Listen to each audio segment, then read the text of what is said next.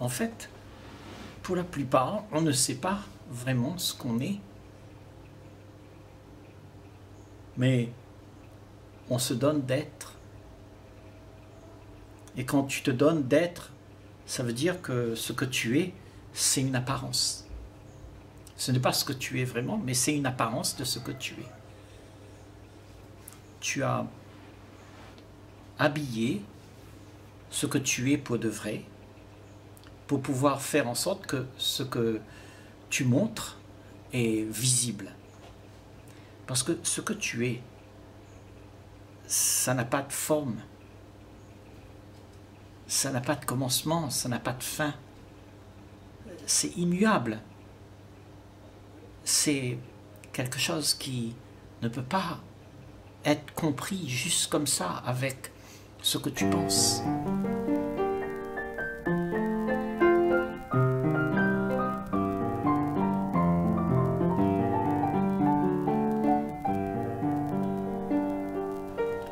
Donc ce que je voudrais montrer en fait, c'est ce qui est compris dans un monde où tout le monde vit avec la forme. Donc cette forme devient très importante. Un homme, une femme, mes affaires, tes affaires, tout ce que je peux amasser, je m'identifie avec et je deviens ça. Et je m'identifie avec le corps que j'ai. Parce que je ne peux pas comprendre euh, ce qu'il y a autrement. Parce que ce, ce qu'il y a, c'est invisible. Ça n'a pas de couleur, ça n'a pas de forme. Donc, ce que tu es pour de vrai est quelque chose qui est, aux yeux du monde, rejeté. Parce que tu ne ressembles pas à ce qui est établi comme étant la norme. Donc, tu te donnes d'être ce que le monde attend. Et le monde décrète comment tu dois être, comment tu dois exister dans cette vie pour pouvoir te faire valoir. Et c'est devenu une tradition. Nous sommes tous impliqués dans une forme que nous projetons nous jouons le rôle et ce rôle nous donne de la valeur. Et tu vois, ça, c'est quelque chose qui est rentré dans les mœurs. Et tu n'es pas allé voir la véracité de ça.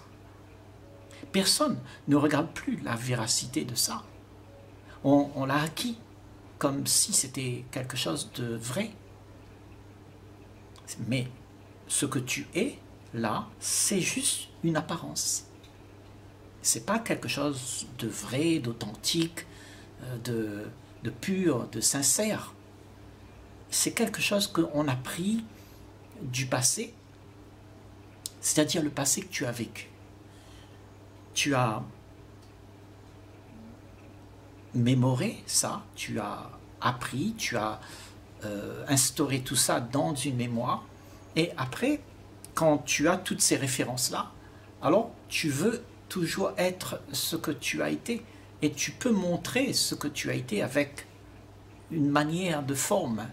C'est-à-dire, je suis quelqu'un, je suis américain, je suis chinois, je suis français, parce que tout ton passé t'a indiqué ce que tu étais.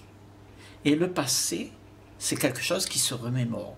Donc ça veut dire que toutes les pensées que tu as, toute la connaissance que tu as, c'est le passé qui revient dans le présent et tu essayes de faire exister, de le rendre périn. Et c'est avec ça que tu t'es identifié. Parce que autrement, ce que tu es, c'est rien. Il n'y a rien. C'est invisible ce que tu es. Donc, on montre au monde ce que le monde attend. Parce qu'on ne sait pas faire autre chose. Pourtant, quand tu es comme ça, quand tu joues le rôle de celui qui devient quelqu'un, alors tu n'es plus authentique. Tu, es seulement euh, la représentation de ce qui fut. Et ce qui fut, ce sont toutes tes expériences, l'histoire que tu as vécue. Et avec ça, tu pavanes pour pouvoir exister dans un monde où tout le monde va donner la faveur de leur reconnaissance. Parce que tu es reconnu à ce moment-là. Tout le monde dit Ah oui, mais lui, c'est quelqu'un. Et personne ne veut montrer la réalité vraiment de ce qu'il est. Parce que à ce moment-là, tu n'es pas impliqué dans la norme établie. Tu n'es pas reconnu. Tu es plutôt mis de côté. Parce que dans ce monde, il faut être quelque chose. Et depuis qu'on est tout petit, on t'apprend à devenir ça. Et comme tu passes tout ton temps à faire ça, tu commences à croire que ce que tu es devenu, eh ben, c'est ta réelle nature. Pourtant, quand tu vis comme ça, il y a un conflit entre ce que tu es là, ce que tu es devenu, et vraiment euh, la partie invisible que tu es, ce que, ce que tu es pour de vrai, ce qui existe pour de vrai, est là. Et elle est c'est en conflit avec ce que tu aimerais faire montrer. Donc tu es en conflit avec toi-même. Et tu vis mal ça. Parce que, en fait, tu te mens. Tu es en train de te mentir. C'est-à-dire que tu te représentes comme étant le passé, comme étant ce qui fut, alors que ce qui est, c'est la seule chose que tu es. tu n'es pas autre chose que ça que ce qu'il y a. Et ce qu'il y a, c'est une chose qui n'a pas de commencement, qui n'a pas de fin. Et c'est la seule chose que tu peux vivre quand tu respires. C'est ça qui existe. Mais quand tu voudrais être ce que le monde attend, c'est quelque chose que tu construis tout le temps. Tu es tout le temps en train d'être occupé à faire valoir l'image que tu vas essayer de montrer pour que tu puisses exister. Et tu vois, tout ce travail-là, ça mine l'esprit, ça use l'esprit, parce que l'esprit, il n'est pas opérationnel comme étant un esprit en paix. Il n'est pas en paix. Et c'est seulement dans un esprit en paix que, tu vois, l'expression de ce vivant, de ce rien, peut se faire valoir. C'est-à-dire que tout ce qui est en train d'être fait et qui est faux, eh bien, cette expression vraie défie ça. Et tout s'écroule. Et c'est ça le problème de la plupart d'entre nous, c'est que nous nous tenons tellement à l'image que l'on s'est donnée qu'il n'y a rien qui s'écroule. On ne veut pas que ça s'écroule. On veut faire en sorte qu'on puisse garder nos habitudes, nos train-train, nos façons de vivre, tous les péchés mignons que tu fais tout le temps, tout ce que tu as appris, tout ça, c'est répété, répété constamment. Parce que tu ne veux pas être celui qui est rien. Il y a une peur bleue que si tu es rien, eh ben, tu vas ne pas être en accord avec tout ce que la conformité propose. Donc tu seras en conflit avec le monde. Parce que le monde ne veut pas de ce qui est rien. Le monde veut te voir comme quelque chose qu'ils peuvent toucher, comprendre. Et s'il te voit autrement que ça, alors tu es pris pour un, un éliminé, quelqu'un qui qui n'est pas intéressant quelque part. Parce que tu as rien à donner, puisque tu n'as pas d'apparence, tu n'as pas de notoriété, tu n'es pas quelqu'un. Et nous cherchons tous à être quelqu'un pour pouvoir avoir la notoriété, pour pouvoir avoir un poids sur ce qui se passe dans les relations. Parce que dans la relation, quand tu es quelqu'un, alors tu es au-dessus de la mêlée puisque tu es quelqu'un. Tu te montres au-dessus de la mêlée. Tu crois que tu es au-dessus de tout ce qui qu'il y a. Tu es celui qui est arrogant, puisque tu montres quelque chose qui n'existe pas et tu veux le faire valoir. C'est l'image qui veut se faire valoir. Or, ce que tu es pour de vrai n'est pas une image. C'est juste quelque chose de sacré, de pur. C'est une expression qui n'a rien à voir avec l'intérêt dans la vie. C'est-à-dire tu es là juste parce que tu es là. Il y a à ce moment-là une présence. La présence qui n'est pas celui qui veut exister à travers son passé. Il n'y a plus l'apparence, il y a juste une présence. Et cette présence-là, elle a besoin de tout l'espace libéré pour qu'elle puisse être là. Et c'est seulement quand cette présence est là que nous pouvons vivre ensemble en paix. Parce qu'il n'y a plus personne qui veut, qui attend, qui demande à l'autre d'être ce qu'il n'est pas. Et là, il y a acceptation. Il y a l'acceptation parce que tu ne regardes plus ce que l'autre est, mais tu regardes au-delà de toutes les différences qu'il y a. Tu vois la vie, le monde entier autour de toi, mais pas comme tu as appris il n'y a plus d'Américains, de Malbars, de ceci, de cela, de riches, de pauvres, de grands, de petits. Il y a juste rien. Et quand il n'y a plus rien, quand tu ne vois plus les différences, les barrières qui, qui fait que tu, tu es embrigadé dedans, eh bien à ce moment-là, il y a de la liberté. C'est-à-dire tu t'es libéré du fait que quand tu es quelqu'un, tu dois toujours faire quelque chose pour te faire valoir. Et ça, ça use l'esprit. Ça fatigue.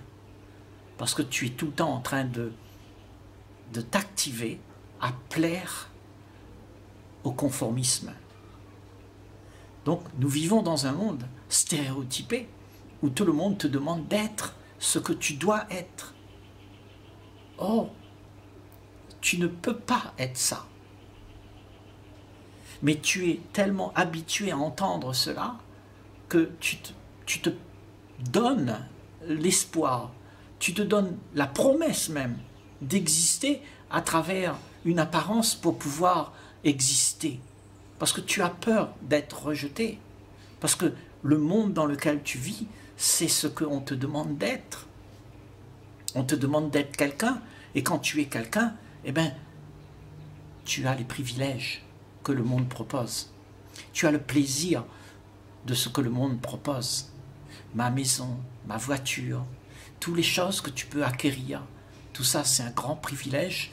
Et si tu es rien, si tu n'es pas celui qui te conforme à la norme, tu ne peux pas avoir ces choses-là. Donc tu as ces choses-là, et quand tu as ces choses-là, tu es dépendant de ces choses, tu es emprisonné avec ces choses, et tu ne sais plus t'en sortir. Tu ne sais même plus qui tu es. Parce que ce que tu es, c'est quelque chose au-delà de ce que tu te racontes à toi-même. Et quand tu cesses de te raconter des histoires à toi-même, alors ce que tu es est libéré. C'est-à-dire, il n'y a plus quelque chose qui vient pour parasiter le vrai, c'est-à-dire l'invisible. Parce que l'invisible, il agit dans la matière. Et si cet invisible n'est pas là, n'est pas présent dans ce que tu es là, mais que tu es seulement présent dans ton apparence, alors cet invisible-là ne peut pas opérer.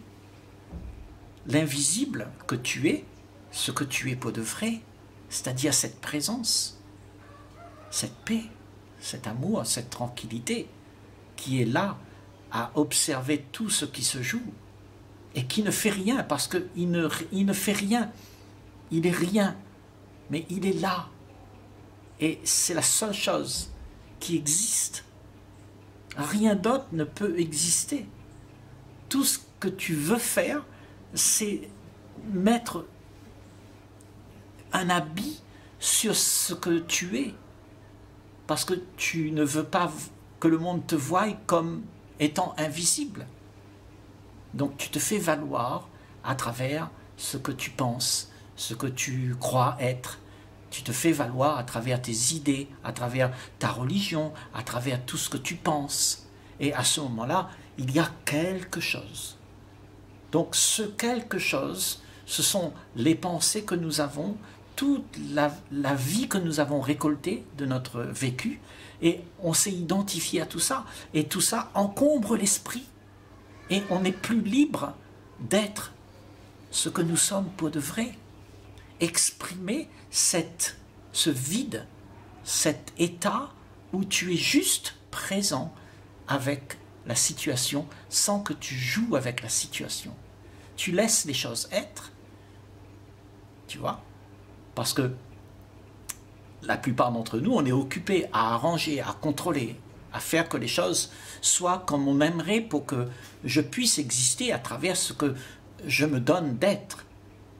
Et quand tu ne fais plus rien, alors il y a juste cette présence qui est là.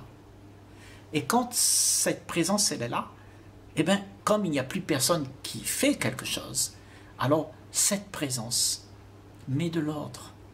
Met de l'ordre parce qu'elle est l'ordre. Le rien est l'ordre. Quand il n'y a rien qui se fait, il n'y a pas de chaos. Il y a juste l'ordre.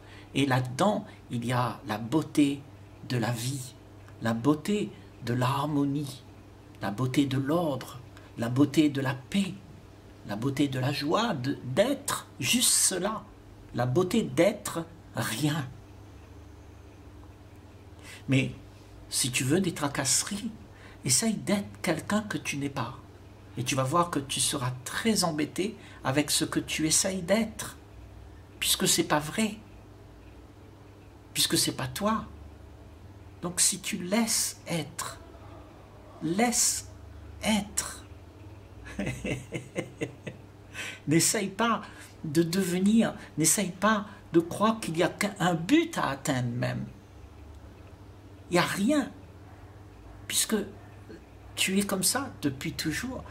C'est ce que tu es pour de vrai, et c'est la, la seule chose qui existe. Tu n'as pas besoin de devenir ça.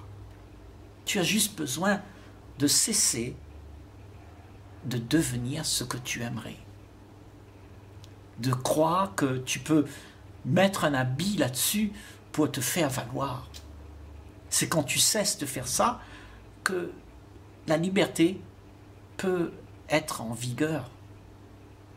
Et la joie de vivre aussi, parce que tu n'es plus dépendant de ce qui va te donner un peu de plaisir, le plaisir d'être reconnu par la masse, ce que l'autre attend de toi. Ça, c'est un plaisir. Mais ce plaisir est éphémère. Et il faudra que tu le, renonces tôt ou tard. Parce que c'est ça qui te donne toutes les souffrances. Les souffrances que tu as de ne pas être dans la liberté de ce que tu es pour de vrai. Mais être dépendant de ce que tu penses devoir être. C'est ça être libre, c'est de voir l'enjeu dans lequel tu t'es embrigadé.